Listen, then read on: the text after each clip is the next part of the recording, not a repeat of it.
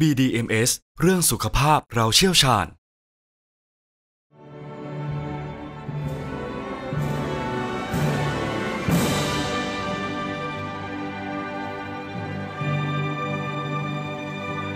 ก่อนที่จะ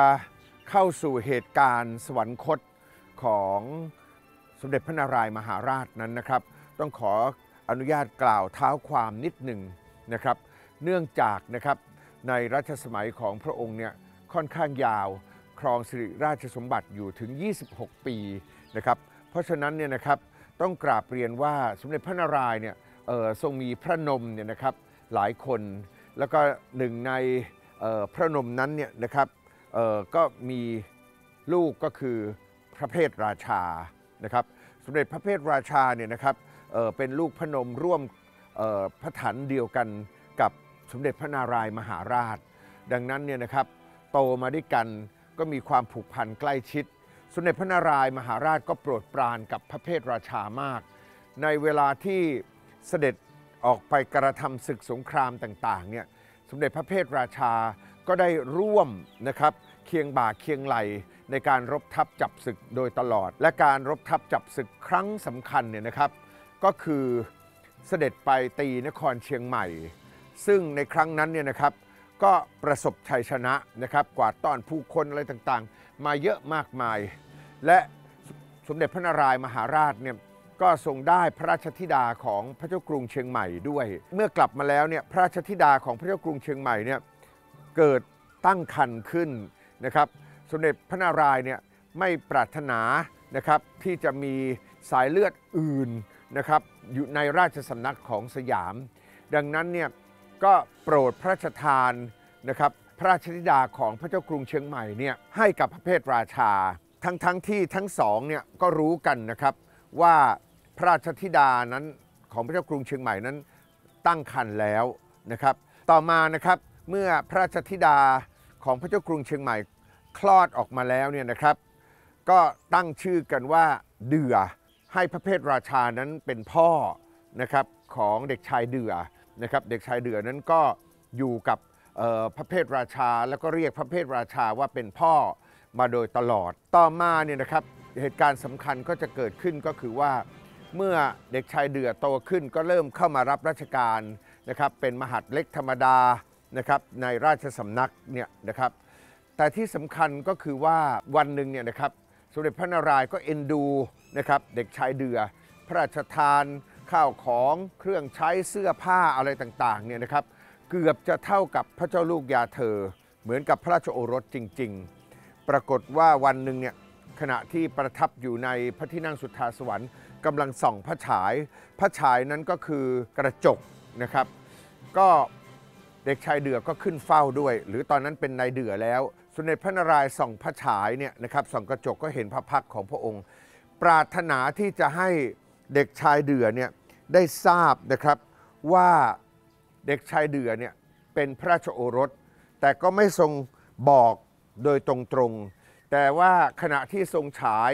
เงาของท่านเนี่ยอยู่ในกระจก ทรงเบี่ยงไปอยู่ด้านข้างของกระจก แล้วจากนั้นเนี่ยนะครับสมเด็จพระนารายณ์เนี่ยก็เรียกเด็กชายเดือมายืนข้างๆของพระองค์ แล้วรับสั่งให้ดูเข้าไปในกระจกนะฮะแล้วก็รับสั่งถามว่า หน้าของเจ้าเนี่ยเป็นยังไงนะฮะก็คือเหมือนกันไหมเด็กชายเดือเนี่ยนะครับ ก็กราบบังคมทูลว่าหน้าพระพักกับหน้าเขาเนี่ยมีละไม้คล้ายคลึงกันที่สุดแล้ว แค่นั้นเนี่ยนะครับเด็กชายเดือหรือนายเดือตอนนั้นเนี่ยก็เข้าใจทันทีว่าอันเนี้ยนะครับเป็นความตั้งใจของสมเด็จพระนารายณ์ที่จะให้ทราบนะครับว่าตนเองเป็นพระราชโอรสลับๆ นะฮะต้องว่างั้นก็ต้องรับนั่นแหละนะครับ จากนั้นมาเนี่ยนะครับเด็กชายเดือกก็เหิมเกริมนะครับ เช่นพระกยาหารเนี่ยนะครับอยู่ในพระสุพรรณพาสในชามฝาทองคำเมื่อเลื่อนลงมาแล้ว ในเดือก็คว้ากินได้ตามอัธยาศัยไม่รอให้เปลี่ยนภาชนะก่อน หรือว่าบางครั้งเนี่ยนะครับฉลองพระองค์ เช่นโจงกระบงโจงกระเบนต่างๆเนี่ยเเมื่อชาวที่เอาไปซักแล้วก็แขวนตากเนี่ยนายเดือก็ไปเอามานุ่งนะฮะ คนก็อดว่ากล่าวไม่กล้านะครับไม่กล้าว่ากล่าวทุกคนก็รู้เป็นนัยยะแล้วว่าเด็กชายเดือหรือนายเดือเนี่ยเป็นพระราชโอรสลับ ปรากฏว่าในที่สุดชาวที่ต่างๆ ก็ทนไม่ไหวก็กราบบังคมทูลพระนารายณ์พระนารายณ์บอกไม่เป็นไรไอ้เจ้าเดือนี่มันบ้าๆบอๆทีนี้อยู่มาวันหนึ่งเนี่ยนะครับมีช้างเพชรฆาตนะครับ ในการลงโทษสมัยโบราณเนี่ยก็จะมีช้างอยู่เชือกหนึ่งที่ทำหน้าที่นะครับลงโทษใครที่ต้องโทษหนักๆเนี่ยนะครับ ก็จะเป็นช้างที่เรียกกันว่าช้างเพชรฆาตไอ้เจ้าช้างเพชรฆาตเนี่ยนะครับต้องกราบเรียนเลยว่า เป็นช้างที่ใช้สำหรับแทงเตะเหยียบนะครับ ให้คนตายนะครับนักโทษนั้น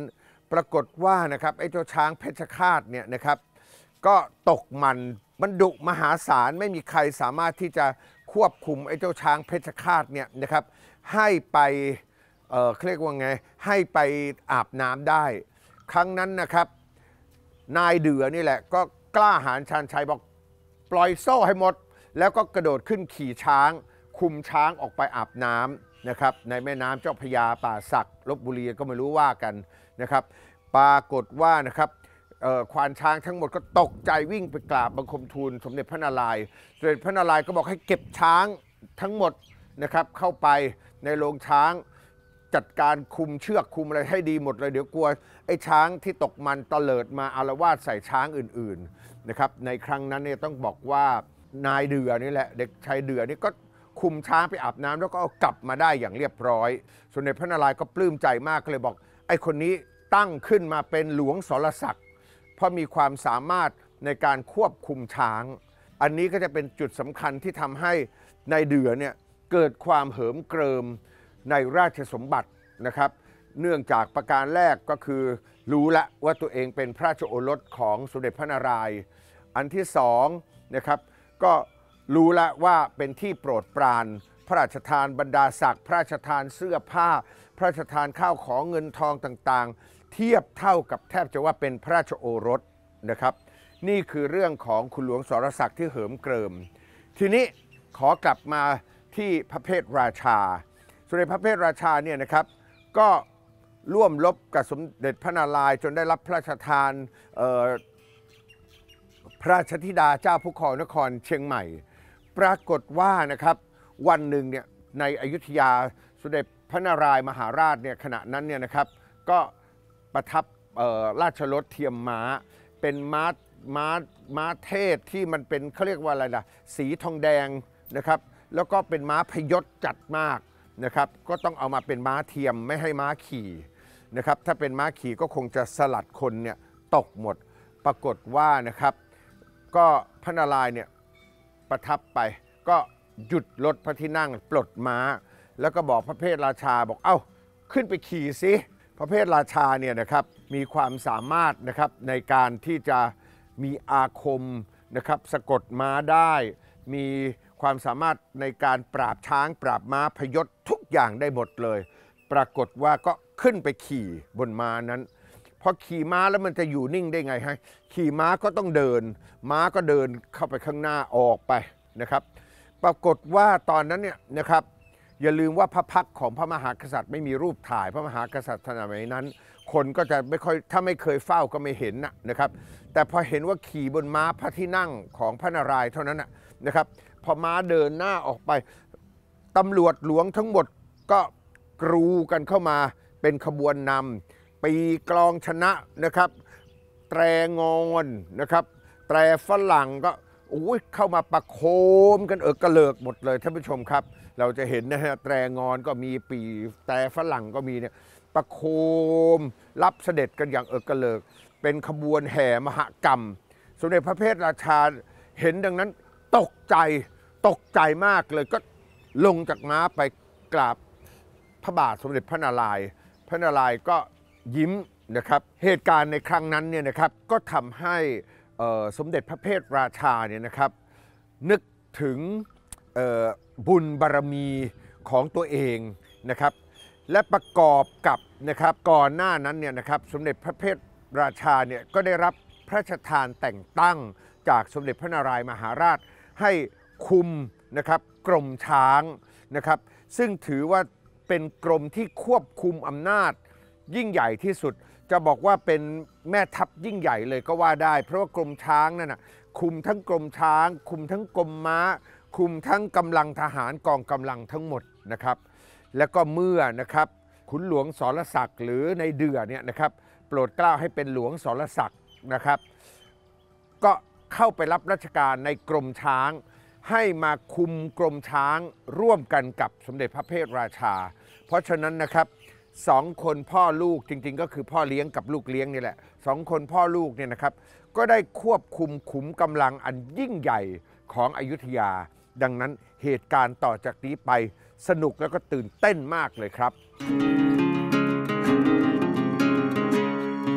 คำถามประจำสัปดาห์นี้นะครับท่านผู้ชมถ้าหากตอบได้นะครับอย่าลืมนะครับพิมพ์คำตอบแล้วส่งเป็นข้อความผ่านทาง SMS ไปที่โทรศัพท์หมายเลข 0818789000 นะครับช่องทางเดียวเลยครับท่านผู้ชมครับ วันนี้นะครับถามกันง่าย ๆเลยนะครับว่า